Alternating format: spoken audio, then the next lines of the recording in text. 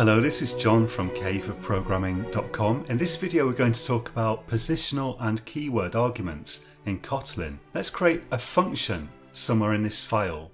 Actually I'll just put it down here. I'll just call the function something really simple like info.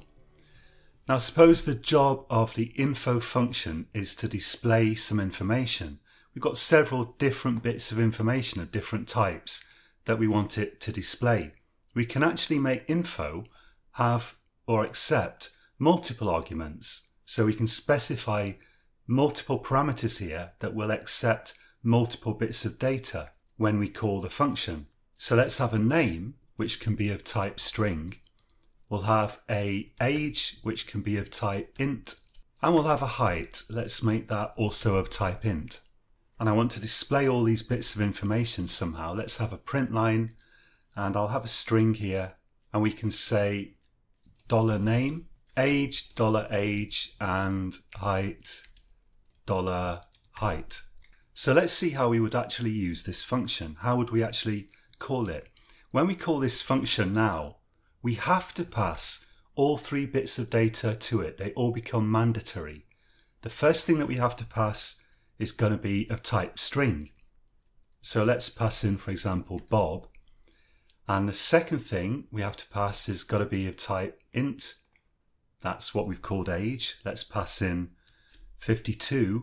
And then we've got a height that we have to pass in as well. Let's pass in 183. So now we've passed all three bits of information. And you can see the IDE here, IntelliJ IDEA, has actually put these grey names in to remind me what parameters, so these are called parameters, what parameters each bit of information, each bit of data actually matches up to in this list. But they are matched up by position. Let's just run this and have a look at what it does. So you can see it says Bob, age 52, height 183. And of course we could do what we want with these bits of data. We don't have to print them out. We could do all kinds of things with them. But the main point here is that these arguments, these bits of data that we're passing to the info function are matched to these parameters via their position.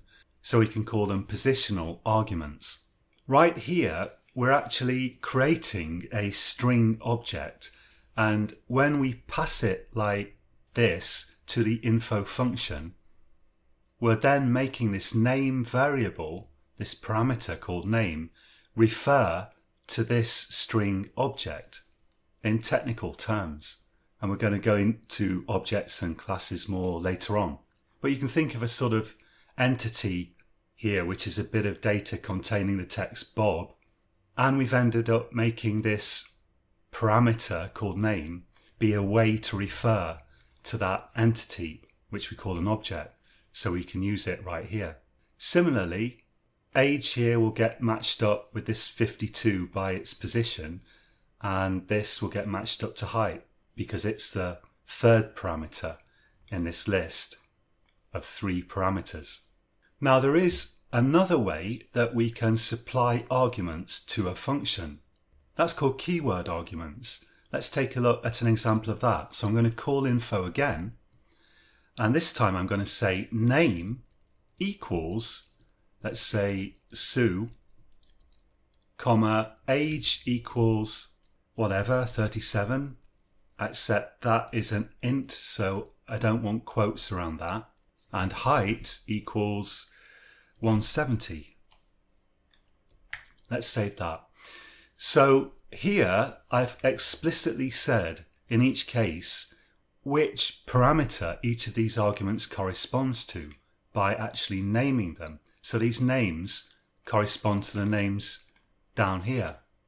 And if I run this, it works just as well. There we go. So in Java, for example, we can't do this. We can only do this, but this is actually pretty handy, especially since the order doesn't now matter. So I could have put age first if I wanted. Let's put age equals 37, comma, name equals Sue, comma, height equals 170. They're now in a different order to these. But because I've named them, we can still correctly pass each argument to its correct parameter. And finally, I want to show you that we can actually mix these two styles of passing arguments to functions. So I can say info, and now if I want some of the arguments to be matched by position and others to be matched via their name, the arguments that are matched by position have to come first. So, for example, I can make the first one here name. Let's say this is Pete or something. So I'm not saying name equals Pete, I'm just saying Pete. That text right there has just come from the IDE. I haven't typed it and it's not actually part of my program, it's just a hint. And then we can specify the other parameters via keyword if we want. So let's say height equals 175 and age equals 25, for example. So this is a mix of one positional parameter that's matched up via its position. It's the first one in the list. And I've got two keyword parameters. So you can mix and match positional versus keyword parameters.